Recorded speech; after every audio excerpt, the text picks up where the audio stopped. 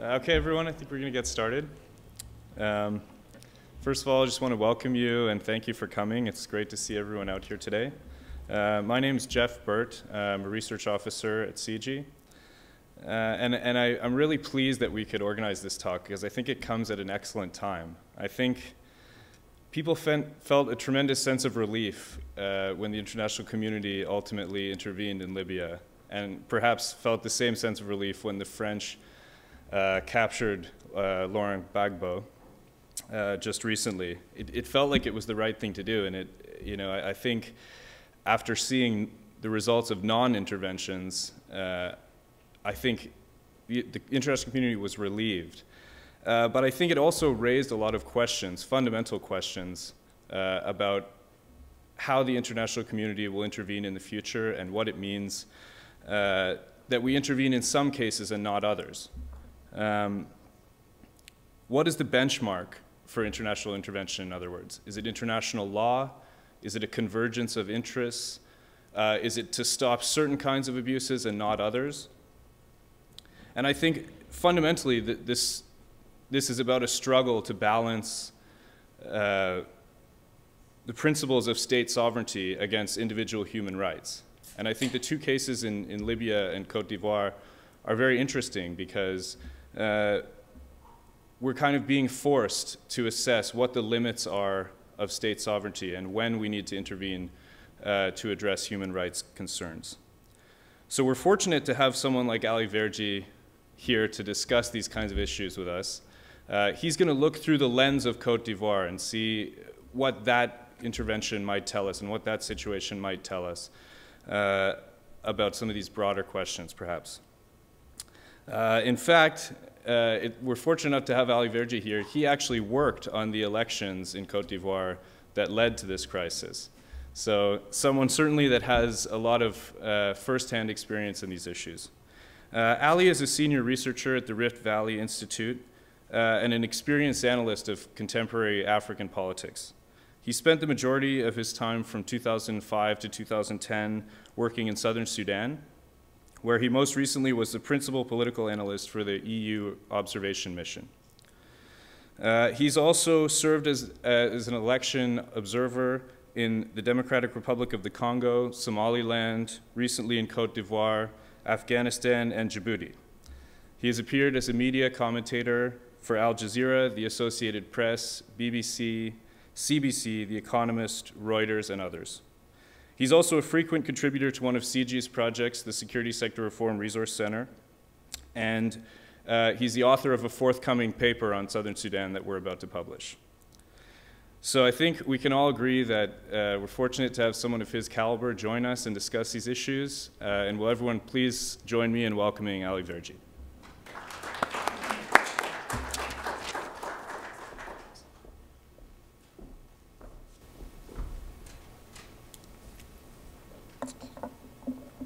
Well, thank you, Jeff, for that very uh, kind introduction, and thank you all for, uh, for coming here today. Uh, I'd be remiss without thanking uh, both Jeff and Mark for all their support over uh, the last year uh, in my dealings with the Security Sector Resource Reform Center, Reform Resource Center, and of course, I must also thank right off the bat. I'd be remiss without, if I didn't, Andrew Shrum, who first introduced me to the family here in Waterloo. So I've been asked to speak today to the subject of intervention and the international response in, in Africa and the Middle East. And I must start by saying that I'm foremost a, a practitioner, as my university transcripts attest, uh, rather than an academic. But I have been reviewing in the last uh, few days some of those articles, uh, including those by uh, a rather famous uh, contemporary uh, Canadian politician who I've noticed uh, doesn't talk a huge amount uh, these days about international affairs. Um, but intervention is, of course, a huge, huge subject, and there's a lot that can be said. So I want to really channel, as Jeff said, uh, my presentation today through the lens of, of Cote d'Ivoire. And I'll try and speak for about uh, half an hour and then leave time for, for some discussion. What I want to suggest today is that the international community, or parts of it, are developing to some extent, and I'm qualifying a lot, and there's a reason for that, but are developing to some extent new norms.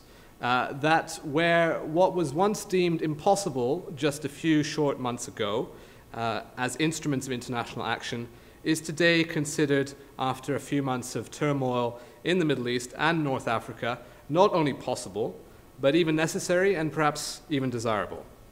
But at the same time, that there has been a return, a very uh, strong return to the uh, return of the principle of, of intervention as long as it's in the strategic interest of uh, national interests of the great powers, whoever they might be. So I want to talk about uh, that uh, emergence of new norms coming out of uh, the Cote d'Ivoire case, and I also want to suggest that how we categorize the types of crises that we talk about in conflict today uh, across Africa, how that categorization, how that labeling also impacts on intervention.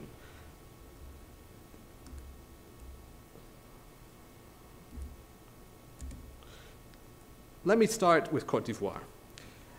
It's a country that has been surprisingly in the news quite a lot recently, and I say surprisingly because the gravest point of the crisis there in that country wasn't uh, the immediate uh, or the most recent events in Abidjan.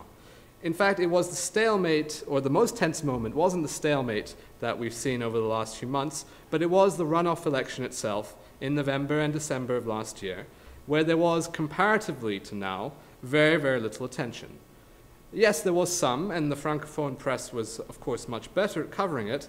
But after the polling had happened, after the crisis had, had started, it became written off as the classic, oh, this is Africa, elections in Africa, what a surprise. How sad, but are we really that, uh, are, we really that uh, surprised that this has happened? And, you know, it's Cote d'Ivoire, it's not really that strategically significant. It's a setback, perhaps, uh, for democratization in general, for West Africa in particular, but so what? Let's leave it to ECOWAS, the Economic Community of West African States. Let's leave it to the African Union uh, to handle it.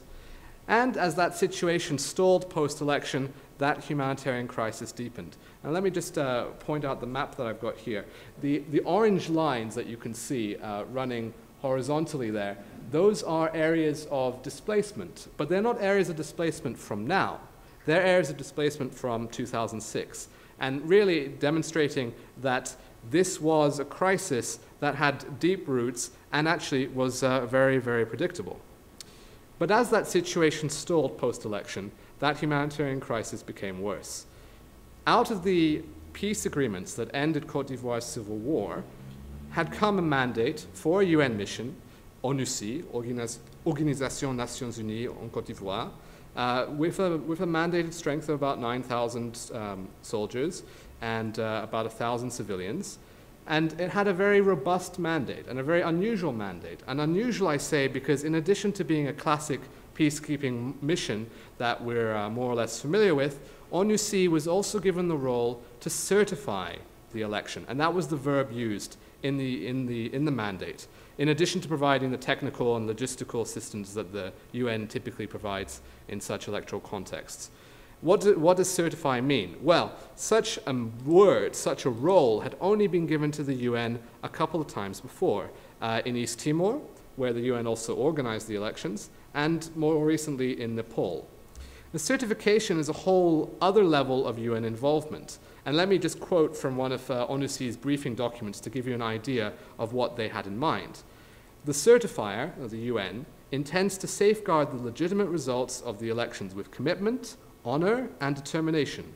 He, and this is referring to the special representative of the Secretary General, he will ensure that the results are respected, the winner being in fact the person who won the election, and that the results will not be the subject of non democratic contestations or compromise.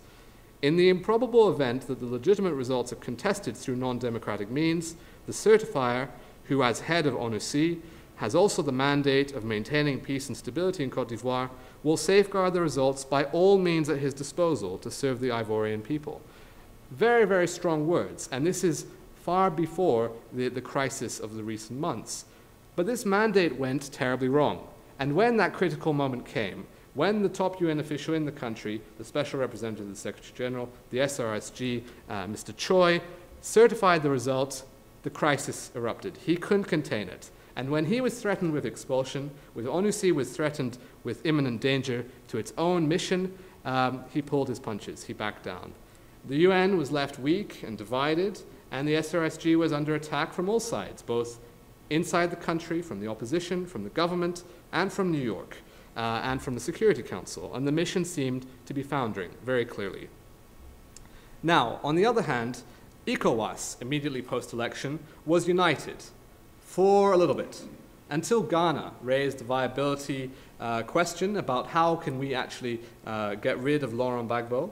And Nigeria started thinking about, well, we have our own domestic elections coming up. And in short, after a couple of weeks of this stalemate, the African Union, ECOWAS, were getting distracted. And it seemed that Gbagbo had correctly calculated that if I just hold on long enough, I'll be able to stick it out. I'll survive. And that was certainly his calculation, and it appeared to be a correct one. Except, what happened next? Well, let's fast forward a few months. Egypt has happened, Tunisia has happened, Libya is happening, and suddenly Cote d'Ivoire becomes interesting when you put it into the narrative of oppressed people suffering from a brutal dictator who won't give up power and who needs to leave now.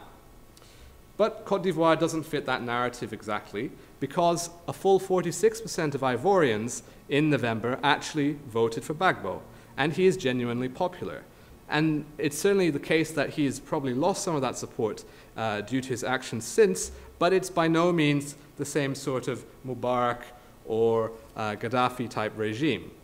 What's more, the country has recently been in a very similar position uh, where about 10 years ago, an almost carbon copy situation developed, an electoral contest happened, uh, and Laurent Gbagbo was the victim of the president in power who didn't, want to relieve, uh, who didn't want to leave office in the face of being defeated, tried to use the military to stay in control. And it was that conflict and the subsequent civil war that led to uh, ONUCI and led to the French military intervention in Cote d'Ivoire, uh, an operation called uh, Force Licorne, uh, which was there at the request of the government eventually. So it's not exactly the same, but of course the narrative was compelling. What's clear is, though, that from November, a national and regional humanitarian crisis was brewing. Cote d'Ivoire is the second largest economy in West Africa. It employs people from all over the region, from Ghana, from Burkina Faso, Mali, Guinea, Liberia. It actually has far, far more of an implication for the stability of West Africa than does its much bigger uh, regional um, neighbor, Nigeria, which of course is the number one economy in Africa, uh, or sorry, in West Africa, the, the largest country in Africa by population. Uh, but Cote d'Ivoire has very, very serious regional implications as well. And it was clear that even before we were evacuated, and I left uh, the country on the 1st of December, that this was about to be a humanitarian disaster. And if we knew it, uh, the senior leadership of the UN, of Licorne, of uh, the other embassies and so on in Abidjan also knew. But basically nothing happened. ONUCI did nothing, LICON did nothing for several months, even as they could see right before their eyes this humanitarian crisis was happening. Keep in mind, they're already there. They're in the country. It's not that uh, we're talking about external intervention here. Thousands died because, or despite of, the presence of ONUCI and Licorne. And you might have heard a comment about uh, the town of Duékoué in the west, where there has been uh, reports of a very serious humanitarian massacre and actually committed by pro-Ouattara uh, forces, Gbagbo's challenger. I'll just show you on this map here uh, where exactly Duékoué is. It's a little bit difficult to see, uh, but if you can see uh, the region of uh, 18 Montagnes, very close to the border with Guinea, it's just a bit south of, of that there or sorry, a bit east of that, um, south and east. So that's the, that's the area we're talking about there. It's on the northern side of the uh, Ouattara-controlled uh, line of Cote d'Ivoire. I'll leave aside judgment on whether the UN or whether uh, the French there should have intervened. What I can tell you, and I've been there, it's a very small town. It's uh, a place where the UN base is actually very, very dominant, and uh, it's certainly not an unmanageable situation. But let's contrast that situation in January with the present situation in April, even last week, where the UN, the French, playing a decisive military role in allowing Ouattara to claim his office, duly elected, uh, by destroying Gbagbo's heavy weapons and artillery, uh, targeting his elite forces, uh, putting the screws to the final resistance there in Abidjan. So, what changed? Why in uh, January or why in November, December, when the humanitarian crisis, a much more compelling humanitarian crisis, you might even argue, was there, uh, was there no response, and later on, something did happen? Well, I think we can point to three things, at least, uh, that changed the calculus. Firstly, the upheaval elsewhere on the continent, that although quite far from Cote d'Ivoire, Egypt and Tunisia and uh, Libya and so on, quite far from Cote d'Ivoire, it was fitting into this narrative that I talked about earlier. Secondly, and perhaps more importantly, because the French had decided now that Laurent Gbagbo, despite being an ally at some point, was now an intolerable liability. That yes, he might have been a liability uh, for some months already, but now it was an intolerable one, and he had to go. And finally, because of Cote d'Ivoire's fairly unusual economic structure, where it is a monocrop economy dependent on the export of cocoa beans uh, for uh, a very large percentage of the state budget, and the ability, unusually compared to other monocrops, for the, uh, for the international community to cut off the flow of revenue by targeting that crop by putting sanctions on it. Let me just quote you uh, the special representative again of the Secretary General, uh, what he said on the 14th of April. And just uh, look at these words. He said, the fundamental feeling is that Gbagbo failed to win the hearts and minds of the population here. He underestimated the will of the people, and the credit must go to the Ivorian people. That is a remarkably bold and not very neutral statement, you could say, from the top UN official in country, who is now directly inserting himself into the political situation. Uh, a very interesting development. Which brings us to Libya, to Bahrain, and uh, to the question of inconsistencies on humanitarian intervention and this idea that I want to suggest that we are developing or there are being developed new norms.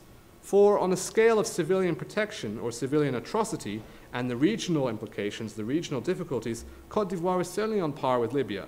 Actually, far worse. Far more people, um, far more violence, far more difficulties uh, in terms of uh, the regional implications even worse in terms of the long-term regional implications given the uh, problems in places like Guinea and Liberia that have also suffered their own conflicts.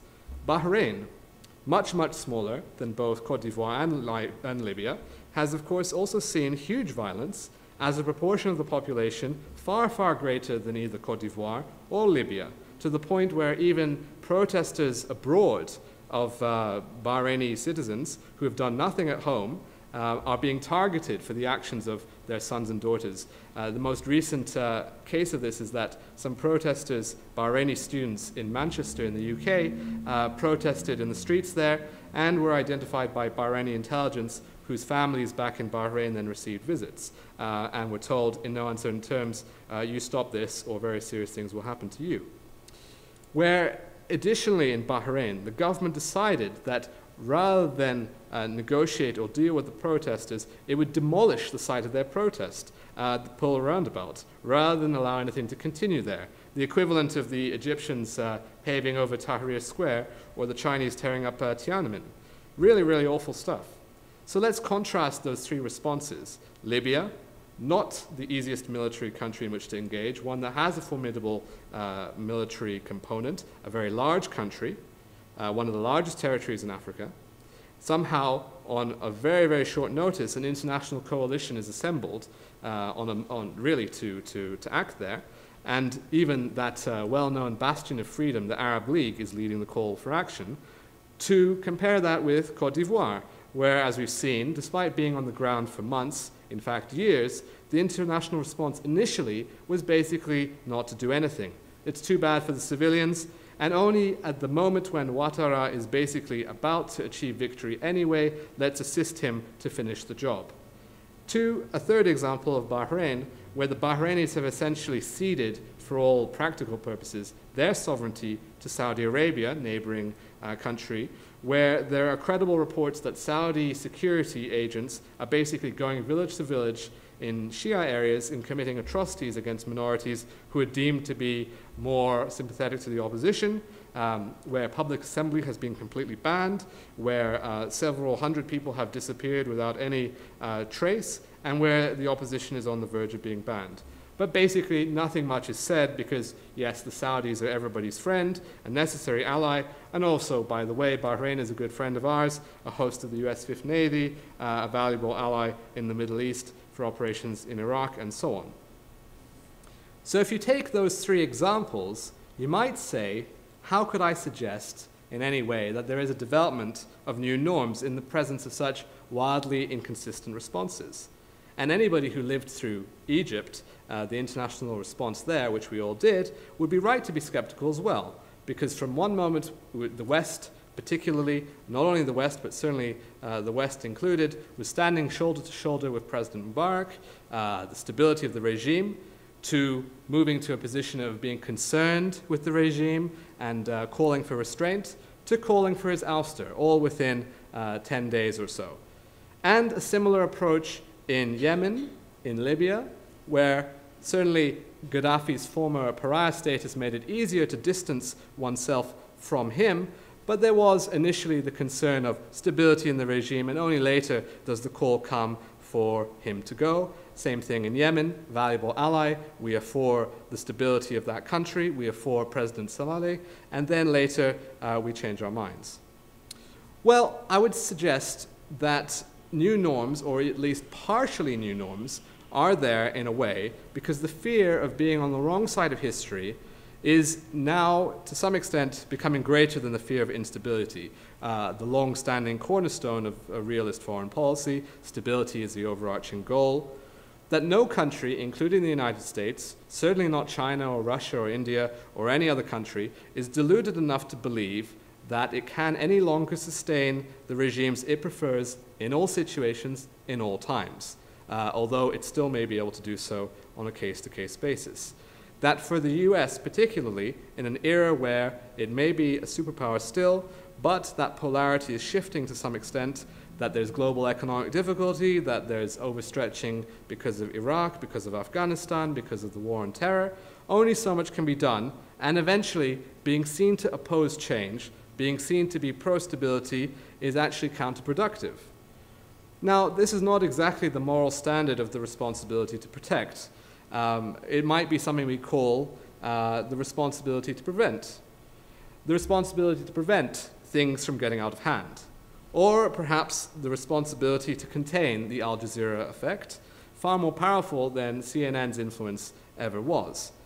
And while this sort of R2P, the other R, um, is also still drawing upon the International Commission's report back in 2001, which described as part of the responsibility to protect the responsibility to prevent, but in the context of talking about early warnings, root causes, uh, this is not quite as extensive.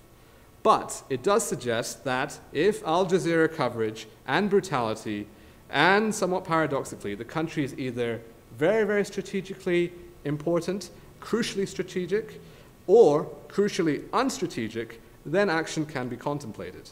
Which explains why Egypt is to be engaged, uh, the heart, the center of the Arab world, uh, crucially strategic for many, many reasons, but Bahrain is trumped by interests with Saudi Arabia. And Djibouti, for example, a very, very repressive country which hasn't quite done enough to violate the rights of its citizens and kill quite enough people, is still um, trumping uh, for being a useful ally and not being violent enough to justify reproach, at least so far. And then Libya, where even the Arab world has had enough of uh, Mr. Gaddafi, but hasn't had enough so far of the situation in Yemen. So overall, this is apparently and quite clearly still far from a point where the, country, uh, the countries of the world, the great powers and the reluctant powers, accept that there is a doctrine uh, of a responsibility to protect and that uniform and consistent guiding principles exist or are necessary uh, for intervention. But there is a greater willingness to engage, knowing that long term, if you don't, the credibility gap of doing nothing may be even worse. But fundamentally, this comes back to a question of state interest. I also want to suggest that how intervention is perceived or how it is approached uh, depends on how we conceptualize or categorize uh, the question of uh, conflict. So I want to suggest three labels, and of course, this is something which uh, is very easy to do and to try and fit things into uh, nice boxes and doesn't completely work, but has its own purpose uh, of utility as well. So the three categories. The first is those countries which are mostly stable in their authoritarianism, but neglected. Neglected in the sense that they're not important enough to gauge the interest of the international community on a day-to-day basis. Countries like the Central African Republic, like Djibouti, like Eritrea, Equatorial Guinea, Gabon, Niger, that kind of country. Second, those countries that are in protracted crisis, ongoing large-scale uh, crises, Sudan, Chad, Congo, Somalia. And third, the new kind of crises into which we can draw part of the Middle East, Bahrain, and Syria, and Egypt, uh, Libya, Tunisia, and Yemen, instability, conflict emerging from very long-term authoritarian situations. Now, again, I'll, I'll, stress that these aren't perfect categorizations, but I want to uh, use them for a very uh, particular purpose to illustrate that in the first type of example, these long-term countries which are repressive, which uh, violate routinely uh, the rights of citizens, which commit violence against the rights of citizens, uh, whether they rise to the level of um, war crimes or acts of crimes against humanity is an open question, but they're generally stable authoritarian countries that are backwaters, even by the standards of backwaters. Smaller countries, ignored even by their neighbors, ruled like fiefdoms, only really notable when something goes really, really wrong, or the leader dies, or somebody is kidnapped, or something like that. And short of a major convulsion of violence or humanitarian catastrophe, nobody really cares. And even then, it may struggle for attention. And that's not going to change.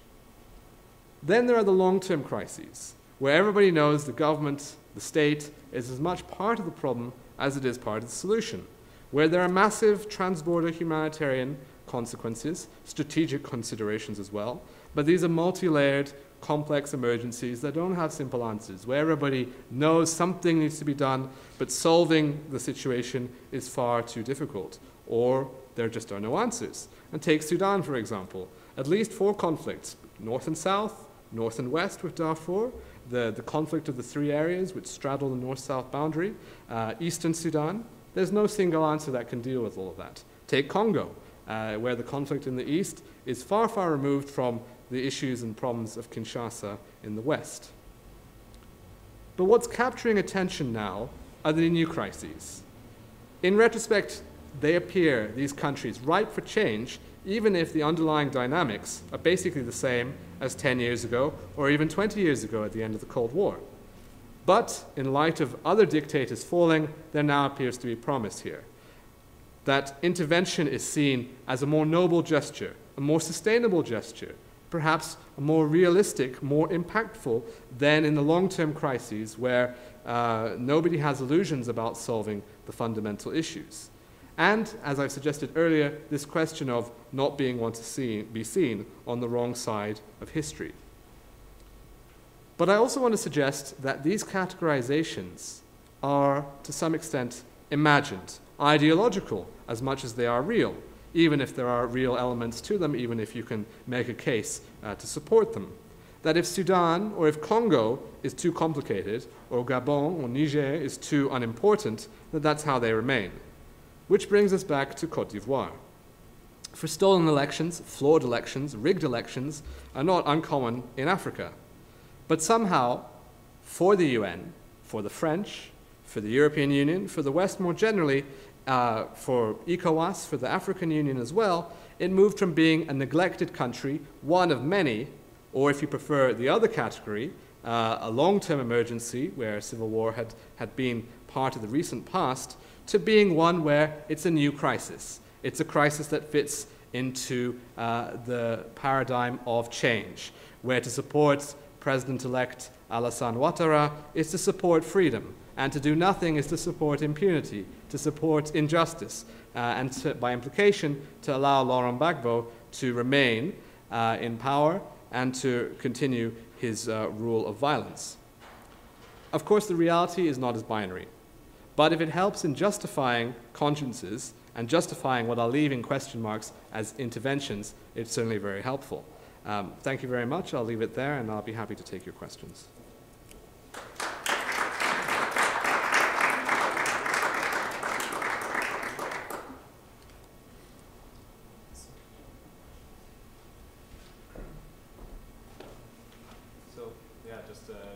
just uh, have people put their hands up and then uh, we'll maybe take three questions at once. Yes. In your statements, you made it clear that, um, if I interpreted you correctly, that it's got to be in the strategic interest of certain powers, you mentioned France a couple of times, the United States, to be willing to interfere in order for anything to really happen. Uh, can you make an argument that it is in Canada's strategic interest to intervene in any of these places? Should we take more? Should we take more or? Um, yeah, if there any more questions, take one more. Yeah. Um, so, in your categorizations of these interventions, I think you, you pointed out that, of course, we can sort of divide them into these important categories. But I was, I'm not at all familiar with these areas you talked about, but I am very familiar with what happened in Kosovo and in Bosnia. And, and I mean, you mentioned the role of the UN Special Representative, right? Whereas in Bosnia, in 2011 now, we still have the Office of the High Representative, Right. which not only sets the agenda, Right. but can impose it, right, which can remove leaders. So, in a sense, I'm seeing sort of a new kind of interventionism, which is really a long-term interventionism, right? Once you go in, it's not like you're gonna get out, you know, immediately, like it's something like 16, 17 years now for Bosnia. And for Kosovo, it's, been, you know, been involved in this for quite long. And it's, you know, not like, end tomorrow, or in the next five years. So, you know, how do you think these sort of long-term interventions it gets there to the responsibility to rebuild, Right. which is part of the responsibility. Right. Should we take one more or is that Yeah, good? one- No, that's fine, that's fine. a good question. Uh, okay, so why don't you just Okay, with those two? So I've been asked to just repeat the questions uh, for the sake of the recording. And the first one is uh, to, I think, if I can summarize what you're asking, is there an argument that can be made for uh, Canada to have a strategic involvement in any of these places? Um, and that I'm suggesting that a strategic interest is very key to the, to the question of intervention. And I'm not suggesting in the response to that question that the strategic value or the strategic imperative to become involved is the right one. I'm saying that's what's there. And that is important because it's important that we don't delude ourselves into thinking that there is uh, a very, very sophisticated or a very, very um, large evolution in the question of are we actually implementing this based on the principles of a responsibility to protect? Are we actually, is this actually being done um, on, on purely humanitarian grounds? I'm suggesting it isn't, that that element is very, very important. So certainly in terms of Canada's strategic interests, um, you can justify very, very little as being um, an intervention in Africa, at least, uh, which I, I'm, I'm trying to uh, confine my analysis to, uh, to suggest that there is, beyond the humanitarian imperative, beyond one where um, you know, we are concerned about the protection of human rights and so on, there is a strategic uh, argument there, except for the two questions, which I want to suggest are, are long term ones. One is the question of does instability anywhere in the world create long term uh, a problem of exporting, of delivering to other places, including to Canadian shores, um, that instability? And I would argue that very clearly, uh, yes, it does. Uh, the second is uh, the question of um, migration and economic interdependence. And certainly, in terms of the uh, turmoil that we've seen in Libya, for example, in North Africa in general, um, hundreds of thousands have been displaced, not only Libyans, people from sub Saharan Africa resident in Libya. Uh, the same thing in Cote d'Ivoire, that Cote d'Ivoire's conflict has displaced hundreds of thousands of people into the neighboring countries. That those people won't just disappear, they won't necessarily be able to return either. That long term, uh, the creation of more refugees, more internally displaced and externally displaced people in the world uh, pushes people to more desperate measures, and that, again, is a strategic concern for a country that is built on immigration.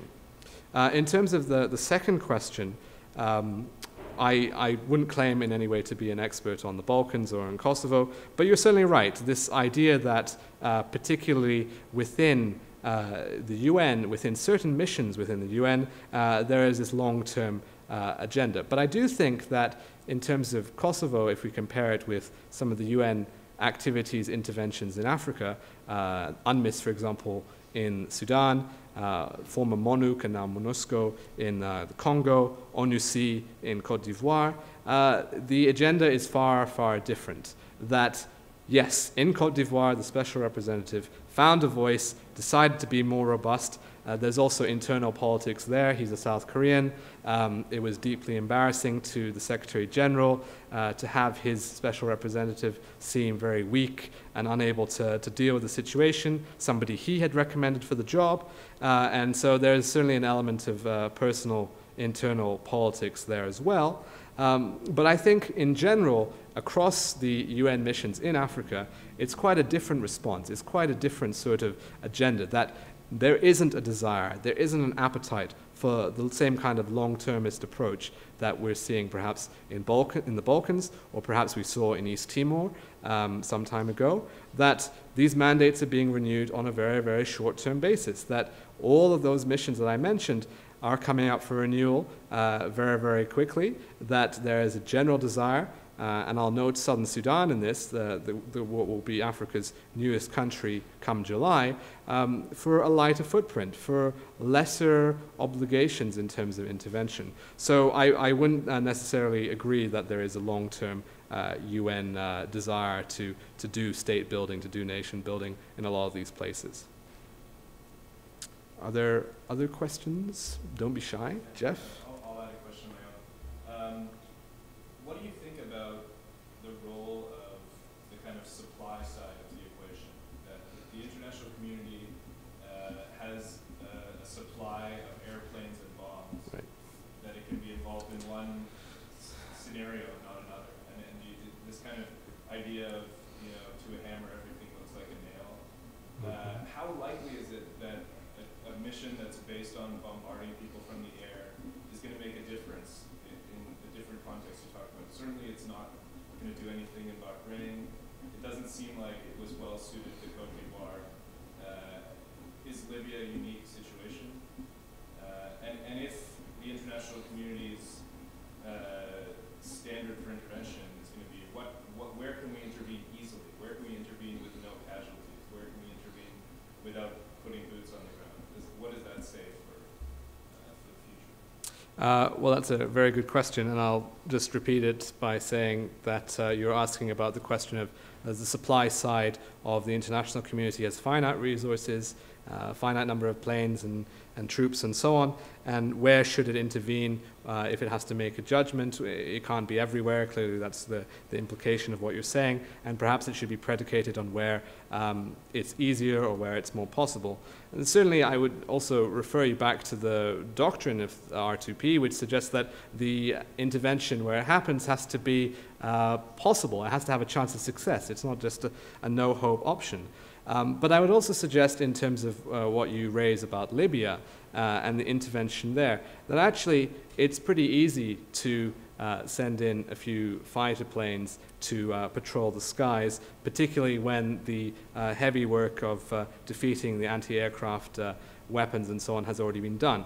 And you're right, there are relatively few cases where uh, an international air blockade is the appropriate response. Uh, and certainly Cote d'Ivoire um, wasn't similar in that sense, uh, where the resources of the state in terms of the Air Force were being used to um, punish civilians.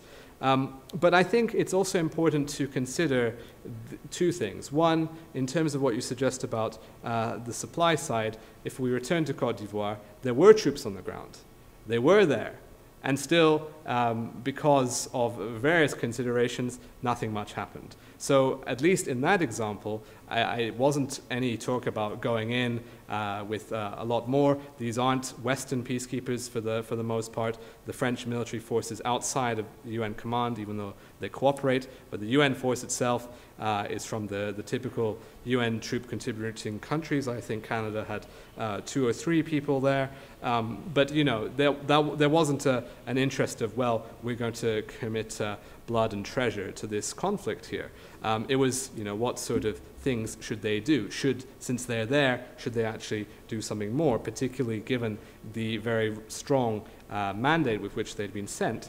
Um, but I think, you know, if we talk about Bahrain or we talk about other countries, um, you know, the, the question is, does intervention only happen in one way, I think?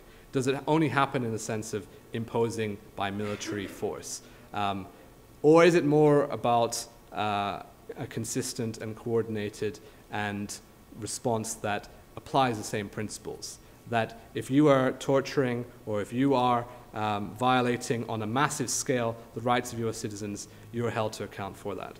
The Libyan no-fly zone is interesting because directly in one of Libya's immediate neighbors, Darfur in Sudan, uh, the same question about civilian protection came up um, from 2004 onwards. That in Darfur, there was an air bombing campaign targeting civilians by the Sudanese Air Force. And you know, the arguments that were raised at that time were that, well, you know, Darfur is too big. Darfur is smaller than Libya. Darfur is too complicated. Darfur is too far away. Um, now, I'm not arguing that a no-fly zone should have been imposed. There are other reasons why it shouldn't have been. But those weren't necessarily the arguments that were predominating. It was, it's too difficult, you know, we might lose some, um, some planes, it'll be, it'll be a challenge as well. Um, I think that if the question of responsibility to protect, if the question of interventionism is to have any credibility as a concept, it has to uh, be consistent. Or it has to be more consistent and less hypocritical. And if we're going to be hypocritical about its, impl- uh, its, its, um, um, its introduction or how it's implemented, then that needs to be stated. That needs to be uh, said, that we don't pretend, we don't dress it up as something else. That might not be very convenient, it might not be very politically convenient, but it undermines the whole doctrine to suggest that something happening somewhere else is actually uh, not the, the same thing at all. Andrew. Well, I, I, you, you framed a lot of this discussion from a normative, a normative perspective. And I wanted to get your reaction, uh, or this expansion on another normative dimension where you're familiar with the democratic development. Mm-hmm. Where I think um, a lot of these conflicts either appear in the media or uh, conflicts are raised to a certain threshold once there is an election or a contested election. Do you see more of a willingness for intervention when there is a contested election to face some intervention on it? Uh, so the question is, in the event that there is a contested election or that uh, there's a contested uh, democratic process, is there a greater willingness? That democratic uh, development is clearly uh, a key uh, organizing principle for concern, and that concerns emerge around elections and similar events.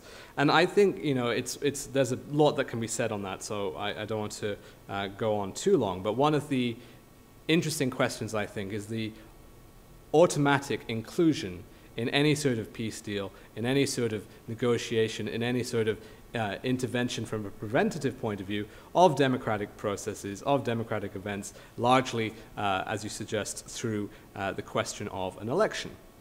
And that when that election goes terribly wrong or is contested, that everybody is, well, how is that possible? And why, why did that happen? And this is uh, unacceptable and so on.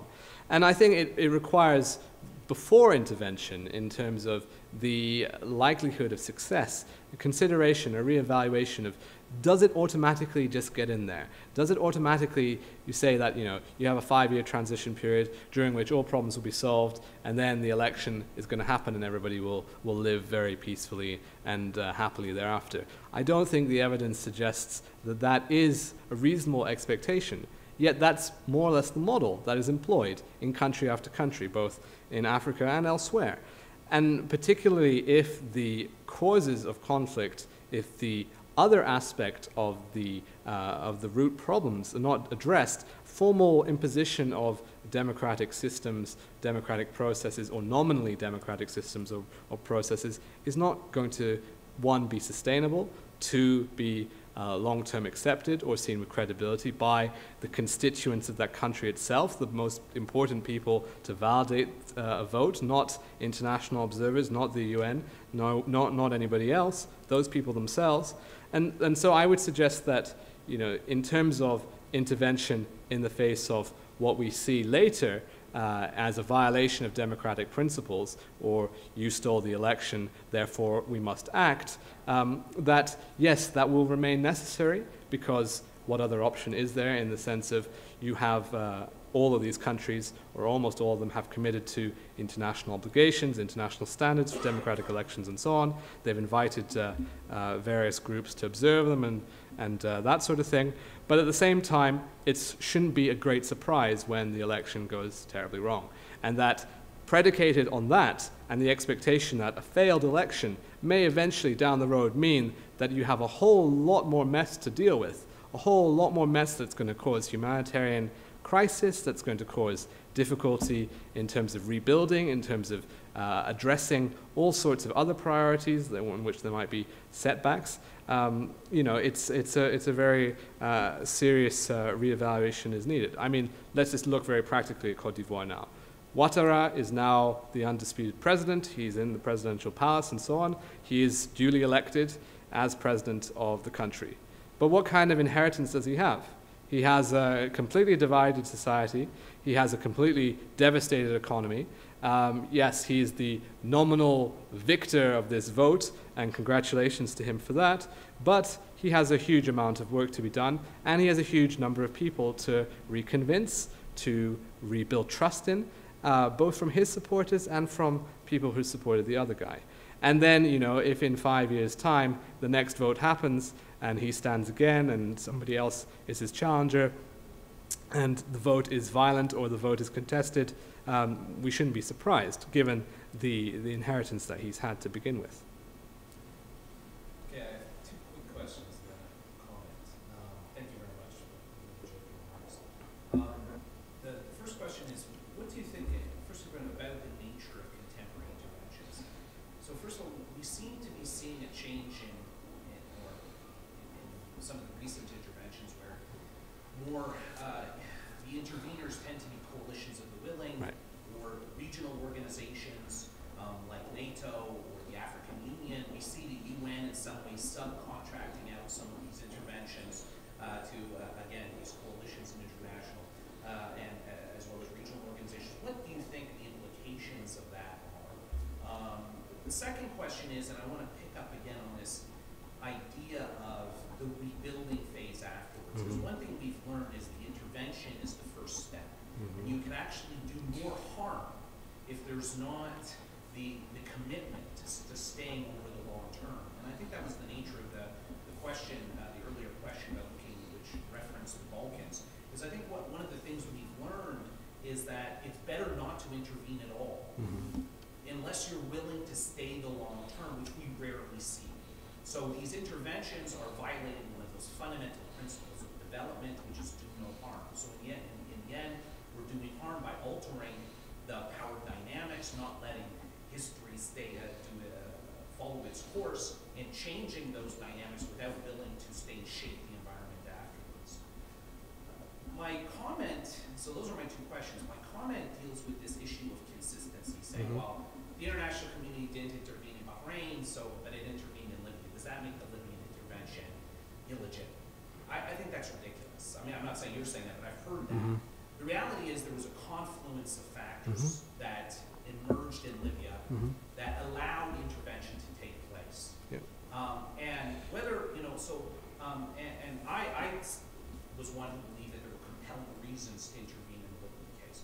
Because there are not the same confluence of factors in Bahrain, again, it does not make the Libyan intervention Sure. What were those factors? The Arab League, that bastion of democracy, as you said, and freedom came out in support. There was Right. regional support for the Mhm. intervention. There was Arab involvement in actually the coalition that has intervened, whether it's meager or not. There was, um, Gaddafi was a caricature of a dictator. He was so easy to hate that it was made it easy for the international community, made it hard for even the Chinese and the Russians to veto it in the Security Council. Um, moreover, um, the assets were there. The Mediterranean region is one area where NATO has a lot of military assets to deploy in this region. And the actual terrain, despite the fact that it's a big country, was actually quite conducive for these types of air Mhm. operations. So, um, so I wanted to also make that comment and get your reaction to it. um, because th- there isn't going to be international resolve to intervene on any issue. Right. But where there is, where there are the factors in place, an intervention is justified and also authorized by the United Is, is, does that make it illegitimate? Right. Uh, well, I hope, Mark, you're not going to make me repeat that uh, No. comment for the, uh, for the record. But in terms of your uh, two questions, uh, reflections on the nature of uh, contemporary interventions and the implications thereof, in- including uh, this uh, idea that we are seeing um, coalitions of the willing. Uh, and then the question of uh, rebuilding, that intervention is the first step, but it might be uh, better not to intervene at all. Um, if, um, you know, the question is that harm may be uh, a likely outcome, and that do no harm should be the, the first principle.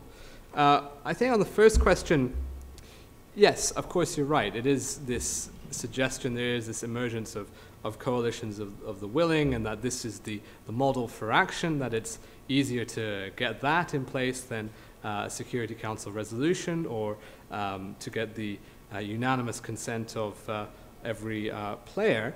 Um, but I think at the same time, uh, and it's, it, it comes to this point about uh, the Arab League and regional organizations, and I want to suggest that leaving aside the Arab League, the, the real question is the sub-regional organizations, uh, that whether it's the Economic Community of West African States, ECOWAS, uh, whether it's the Gulf Cooperation Council, the GCC, uh, for um, the Gulf countries, that this is now one of the primary focuses for what is acceptable behavior, or what is acceptable um, for uh, action to take place, and uh, that you know we are going to see more and more that be the avenue, that be uh, the, the source of, of things. That you can't get the African Union, all of its members, uh, to agree. There's always going to be somebody uh, unhappy about it. But if you look at a more uh, regional or a more um, manageable block of countries, perhaps you can. Perhaps you can get things like that.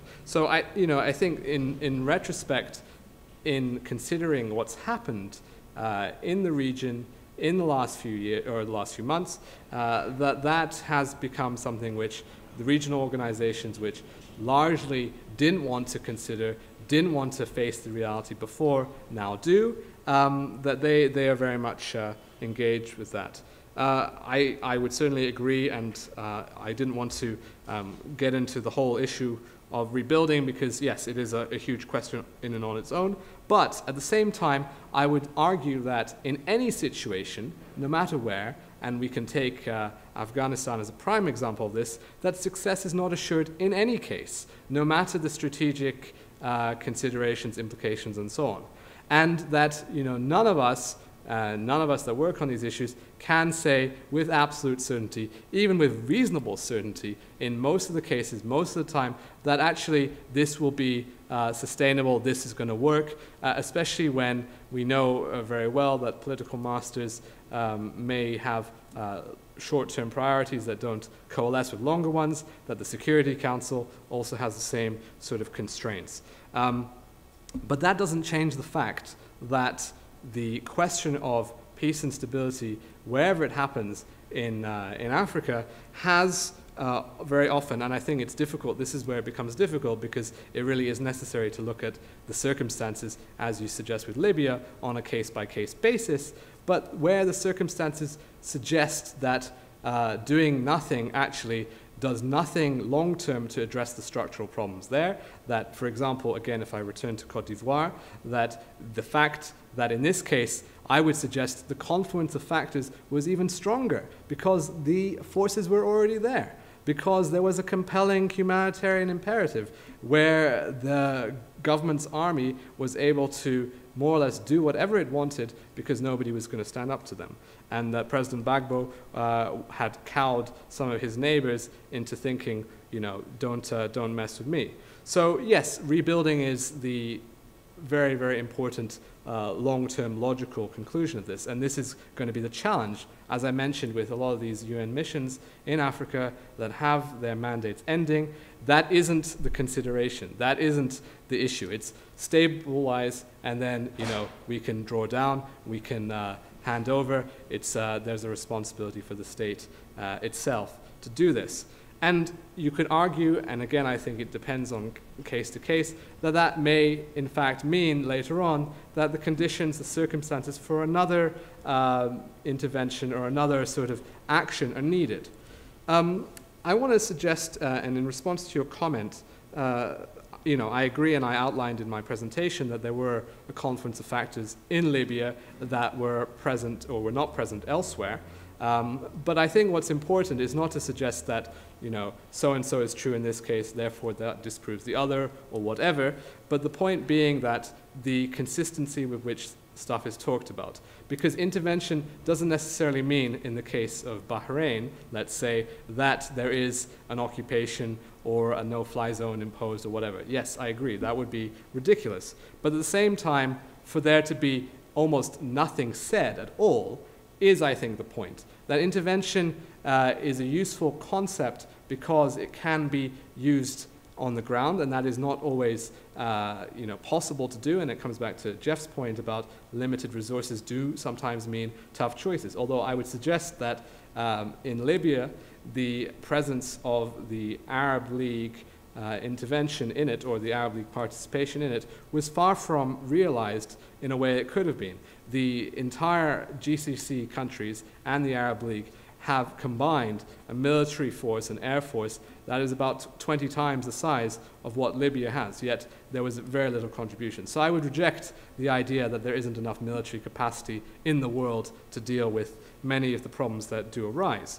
Uh, but you know, the, the, the issue for me is the question of do we say consistently where uh, there are issues that we are concerned with because we subscribe to these principles or not? The response may vary, it has to vary. There's no one size fits all solution for any of these places, but I think that's the, the question on which uh, we should consider. Yes? I might be a little slow, so you forgive me. I really appreciate your, your presentation. Are you a realist saying that national interests really are the guiding analytic tool for these interventions or not? Or is realism predominant approach and this R2P like humanitarian like activity sort of bucking against the wind occasionally to create a victory as an intervention? Um, well, I try and avoid uh, subscribing to any labels myself, and maybe I'll ask uh, Andrew later to come and tell me what I, what I am, what I fit into. But I think all I'm suggesting is that the doctrine is there. The doctrine is talked about. That if we talk about Libya, if we talk about other places, it's put in humanitarian terms. This is protecting civilians. But very clearly, um, that is a consideration, yes, but it's not the defining one. It's not the consideration that has motivated, in the end, ultimately, um, the intervention there without, as Mark suggested, without, as I suggested, the confluence of other factors, whether that is the media coverage there, whether that is the um, agreement in the neighborhood to do it, whether that is just uh, Gaddafi having worn out after 40 years uh, his, uh, his welcome. So, you know, I think it is a question to say what, when we talk about language, when we talk about categorizing the types of actions that are contemplated, what do we actually mean? And let's call what it is what it is. And, you know, it's convenient here to use the shorthand to say, yes, this was an intervention and Canada's participation in it as well, an intervention to protect the rights of civilians, to defend against those horrible um, armies that uh, Gaddafi is deploying. But actually, when you start blowing up stuff that uh, not directly related to um, protecting civilians, that when you start to directly engage with the army, um, when you start to do those kind of things, it's beyond that. And you know, I don't necessarily have a problem with that. I think it's a judgment that uh, we can only leave to history. Uh, but I think it is important to not be hypocritical about it. Um, I think we have time for maybe one last quick question, if there is. Yes, Yeah. Uh, in the lead up to kind of the curtain call on Gbagbo, uh, you saw them being harassed, uh, shot at, you know, arrested, detained, having their weapons confiscated. Meanwhile, all these people all around are dying on a large scale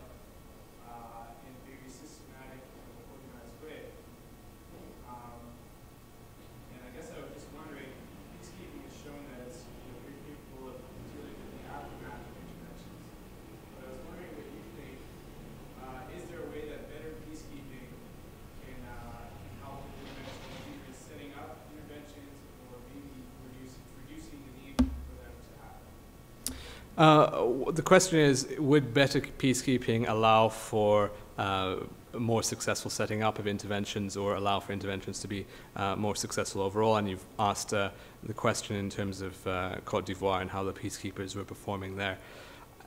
I mean, again, I think that if we're talking about 9,000 troops on the ground in Cote d'Ivoire, then the expectation that with a mandate, with the full uh, backing of the Security Council, with the idea that they can take all necessary measures, then yes, uh, you know, there is clearly an, an obligation on them not to just uh, turn the other cheek, perhaps, but to be a bit more activist. But of course, we need to be careful with this, and you know, I, again, I think it's difficult to generalize because peacekeeping does, even though we like to put it under uh, one shorthand, come in many different forms. And you know, it's a very different question if we're talking about monitoring a military ceasefire between two sides, a classic peacekeeping sort of responsibility, and something uh, where actually we're talking about perhaps a rapid reaction force or some kind of uh, very militarily robust UN activity. Um, but I think it's inevitable that the countries, or many of the countries where the UN is going to have a presence or where the Security Council is going to have a peacekeeping mission, are the same countries where um, humanitarian catastrophe, disaster, instability is also likely. Does that mean that those are necessarily countries where you know a, a greater intervention happens? Clearly, Cote d'Ivoire has some special uh, differences because of the long-standing French presence there, because of the long-standing French military uh, commitment there as well. But you know, there, there could certainly be a convergence. So I think if you're working in uh, DPKO and you're thinking about this kind of thing, the correct answer would not be to say, well, let's just hope it doesn't happen in country X, Y, or Z, but you know, consider that actually down the road, uh, in some of these very complicated countries, you may need that additional assistance, or whether you need it or not, or whether you like it or not, it's going to happen. And so there's all kinds of questions about the neutrality, the ability, the support, the intelligence on both the peacekeeping side, both the military side of the peacekeeping, as well as the civilian side, as well as the intelligence side. And you know what this has in terms of the Security Council viewing the possibility that UN forces or UN presences can be a stepping stone, a bridge to some of these kind of things. So I think there's a, there's a whole bunch of issues wrapped up in that, but uh, it's, a, it's a good question, and I think if you're a planner for uh, uh, the UN in New York, it's one that uh, you should uh, be thinking very deeply about. So I think we'll probably leave it there, but thanks, Jeff. So, uh, thanks everyone for your great questions. Of course, thank you, Aly, for a thoughtful, very thought-provoking presentation. Uh, as a token of CIGI's appreciation, I'll give you that. And please, everyone, join me in thanking Aly Verjee.